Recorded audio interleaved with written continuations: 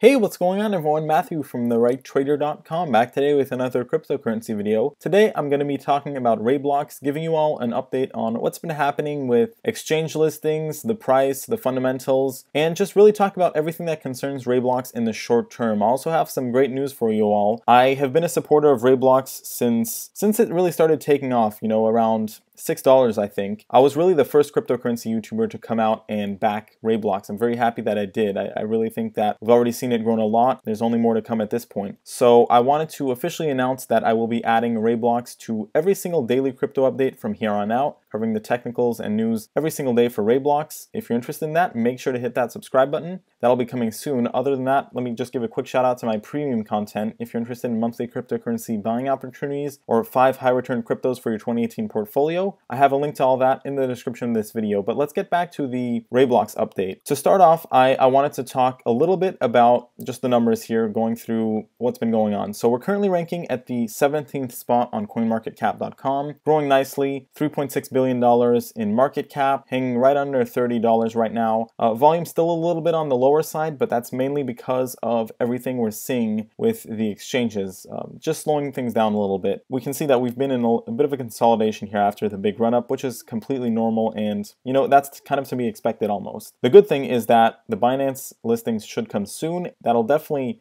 affect the price in some way. Now, I am going to tell you what I think is going to happen in this video. I'm going to get back to that in a second. For the time being, we're consolidating a little bit. The Binance listing should come within a week or two. There's no specific date, but from most predictions that I've seen, that's around a reasonable time frame. That can definitely, uh, you know, get us out of this consolidation. Now, to talk a little bit more about the exchanges, the list has grown a lot. Remember, just not long ago at all, we were only really on BitGrail and Mercatox. Uh, most of the volume was coming from BitGrail. Things have already changed a lot, right? We we got a lot of new additions. We CoinFalcon, BitZ, and of course KuCoin is now the biggest. So those are all great in the long term. That should definitely help things. We didn't really see any price spikes because of getting on these exchanges just yet. But in the long term, from what I've seen, it definitely helps cryptocurrencies, right? That's pretty obvious. To, to get into some some news here, uh, just going to talk a little bit about the, the subreddit. It's still been growing a lot, over 40,000 subscribers now. That is a very big number in the cryptocurrency space, and it's still growing a lot, like I said. A lot of active users, still a very active community, so no worries there. What's happening with exchanges right now is it just seems like there's, you know, some growing pains as far as RaiBlocks goes, right? Getting used to, to this high volume and everything is creating some slight problems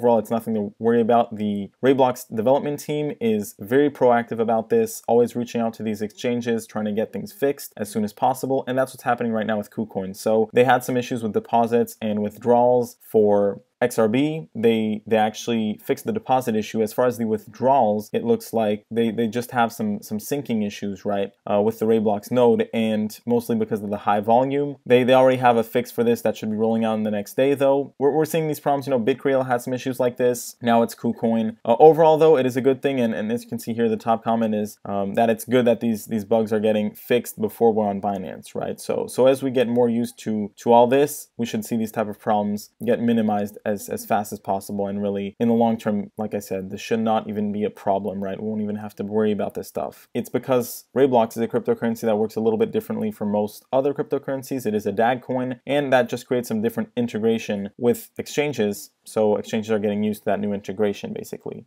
just to simplify things a lot.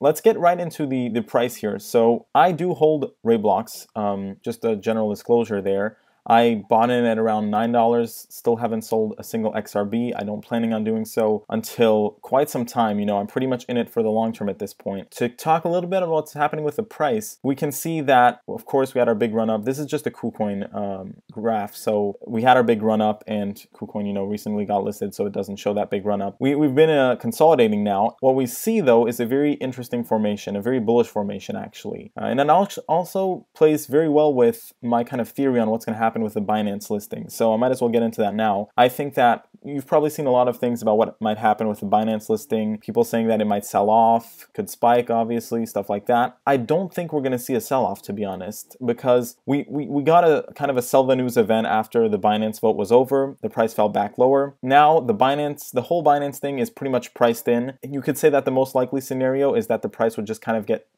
be relatively stable when it gets listed on Binance. Uh, I definitely think that's a pretty likely scenario. From what I've seen though, after big listings like that, the price is usually pretty stable and, and then slowly but surely, maybe a month after things really start picking off and it's pretty much off to the races from there. So that is definitely a likely scenario. Like I said, I don't see um, really a, a strong possibility of us dropping just because we've already had this pullback, right? The One of the reasons why I think we could definitely see a, a big spike, you know, that would push us above $50 when we get listed on Binance is because RaiBlocks, you have to remember, compared to a lot of these other cryptos, is a very hot cryptocurrency right now. Uh, you can see that by the, the subscriber growth on the subreddit and just all over. A lot of eyes on RaiBlocks. People absolutely love it from what I can see. It is a hot cryptocurrency, so I think that we could definitely see a scenario where a lot of people that didn't weren't able to buying on BitGrail for whatever reason, stuff like that, jump on the opportunity when it's on Binance. So I do think a spike is possible. Could it drop? Of course. I don't think that's the, the most likely scenario at this point. I think we're either going to consolidate a bit more or pretty much see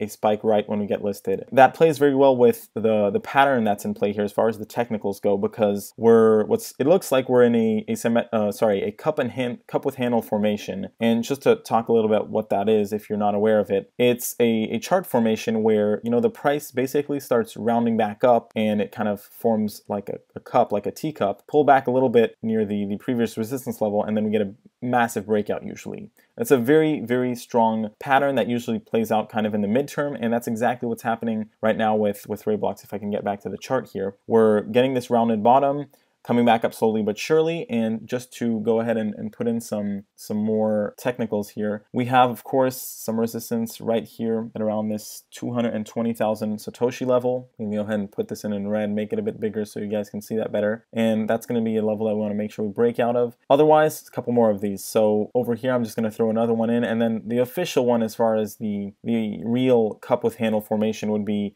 the previous high right now. So on this graph, at least, it would be all the way up here at 290,000 satoshis. So normally trend along this this curve until we get there, and then little pullback where we would then break out uh, with a lot of strength, right? I would say even here we could already get that strong breakout over here near this 258,000 satoshi level. We could already see that that big breakout happen. But overall, it's it's looking good here, right? This, like I said, it's a very powerful formation. It, it just takes a little bit of time to pan out. That makes sense, right? With the Binance listing, you have to remember that. With that being said, um, this is pretty much all I wanted to update you all on as far as RaiBlocks is concerned here in the short term. Just to recall, I, I will be adding it to every daily crypto update, so make sure you subscribe. And yeah, thanks for watching, everyone. Have a great day.